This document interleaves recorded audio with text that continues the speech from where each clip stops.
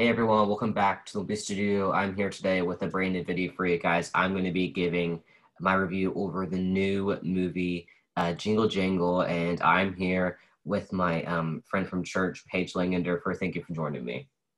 Hi, thanks for having me. So, um, I noticed on on your Facebook page that you um, were a big fan of this movie. Um, so, um, when you watched it, um, well, like what um, what was your like overall thoughts before going into the movie? Um, it's just I love this time of year and the time and the movies that come out this time of year, and so I'm always just really excited to see what it was. Um, and this one was just different, and um, I was just really excited to see a different take on a Christmas story and um, something that the whole family could enjoy.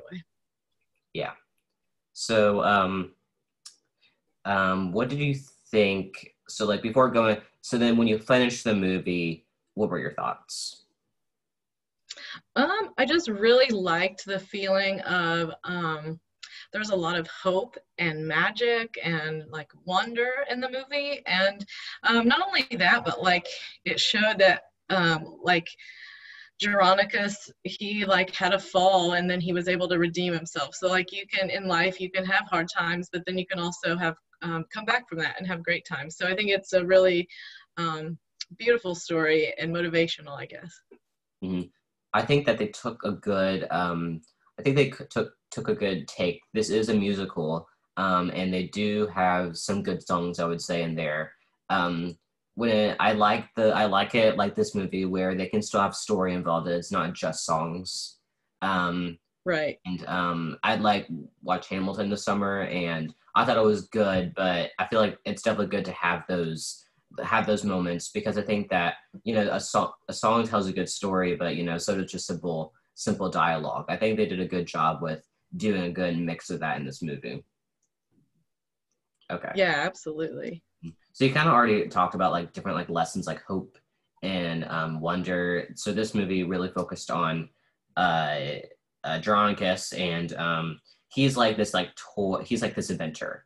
And um, his uh, daughter like she left and then but her his granddaughter was brought in who's also an inventor. So um, this this movie also brought a um, like a um, a toy shop type of style into it. So what do you think of like them like choosing like that adventure route? Oh i definitely loved it. And i loved that there was like a lot of um a lot of like smart. I don't know. I don't know another word for it, but I liked that the little girl was really smart, and so she wasn't just like this ditzy princessy kind of girl. And so hopefully, like little kids watching it can think like, oh yeah, I want to be smart and I want to invent things, and that's really fun too. Not just like playing dress up and all of that. So I really like that aspect of it. Mm-hmm.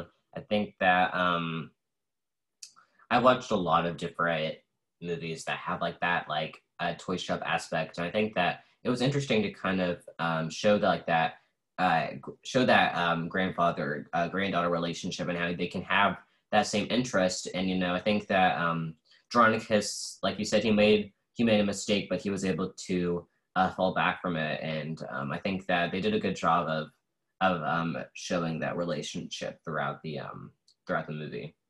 Yeah but the sets in general i didn't really answer your question directly. The sets i loved. I thought everything was really cool and like um like the um in his toy workshop everything was really neat how like it he had a robot or not a robot a machine to like put on his goggles and a machine to put on his apron. I just thought it was really cool. It reminded me of um just I can't even remember another movie like it. Maybe Chitty Chitty Bang Bang. I think it's it's probably too old for you, but but he was also an inventor and had really cool like little machines always going, and so I thought the set was really really cool.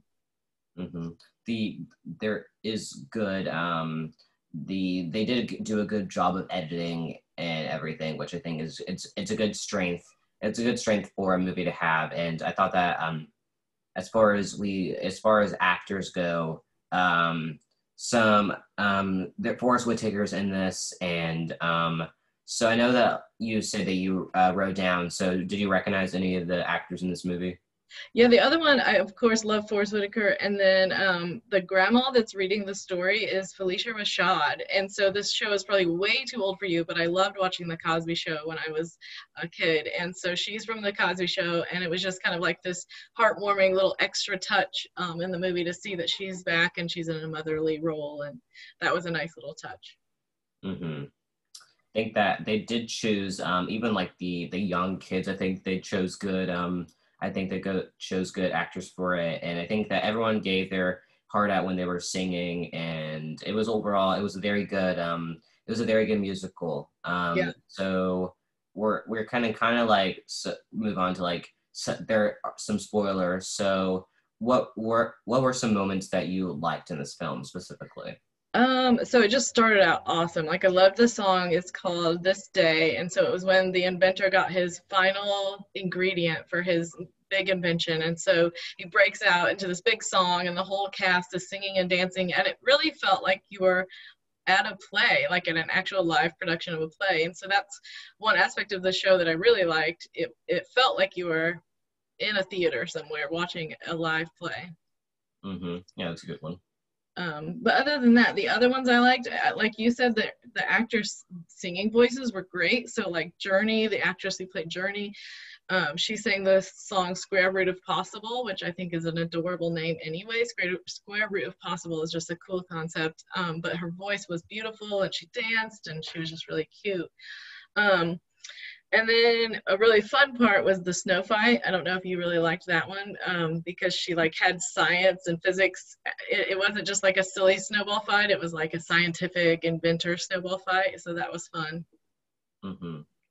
Um, so a few moments that I liked. I liked um, the square root of possible, like you said. I liked um, I liked the whole when Andronicus's daughter came back, I thought that was a very powerful moment in that, you know, he wrote letters to her because he was too nervous to send them to her after everything that happened between them. He wasn't sure if he wanted to hear from her, um, which I thought that was, I thought that was good. And then the whole, I like the whole, um, uh, like, you know, um, uh, Gustafson, like he like stole, um, Buddy, was that the toy? Yes, the toy, yeah. I thought that was good. I think that, I think it's always kind of nice to see like a villain, yeah. a villain in the story. Um, and not like more like just like a, a fun villain and pretty much like all the like the adventure things I really liked. And this is a good movie for anyone who likes uh, Christmas spirit and who likes like toy shop. And um, so, is there anything that you think the movie could have improved on? Um, honestly, I can't really think of anything right now. I mean, it was just I loved it. It's one that I think is a classic and that I will plan to watch even not at Christmas because it, it is set during Christmas, but I think the story is very much, it could be any time of the year. So it's just inspirational and I really, really liked it. Oh, one thing I didn't touch on that I really liked was the character Miss Johnston. Do you remember her? She was like the postal worker. so I just thought she was kind of like jazzy and funny. She added just like a little, little funny bit to the whole thing. Mm-hmm. I thought that um, I thought that scene with her and Andronicus was pretty funny. Towards yeah, the beginning, kept, yeah. Kept funny. calling him Jerry, and he was like really uncomfortable with that. Yeah, was cute. Uh, I thought they chose. I thought they had good um, diversity. Yeah, I love that. Yeah, it was.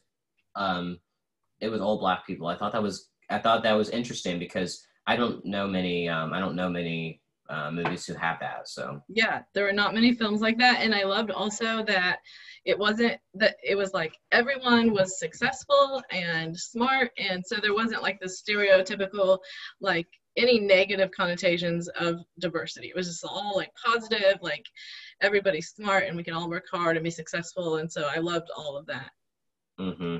and i thought that the um i thought that uh, journey and her fr- and her um, friend i, I liked their little like mission together Yes, they were very cute. And so that was one theme that I noticed, like in the beginning of the film, like everybody was like, I'm out for myself. Even um, Andronicus really was like, I'm going to be the best toy maker in the world and I've got this awesome toy now.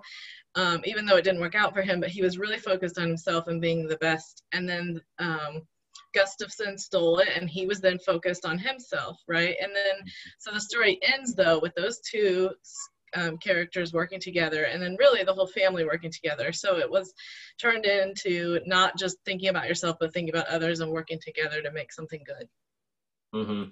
yeah i think that this movie showed good lessons and it is for i would say that it is for all ages so anyone anyone who wants to see a good uh, christmas movie that has um, good lessons in it and of course good actors and good diversity I think that this is the movie for you. I'm pretty sure it'll probably be one of my favorites. Christmas movies of 2020, and they are they are make. I am glad that they were still able to make this movie. Um, I'm not I'm not sure if they made this before the pandemic. I don't think so. I think they. Yeah. I'm not sure when they started filming it. I'll have to look I'm not sure.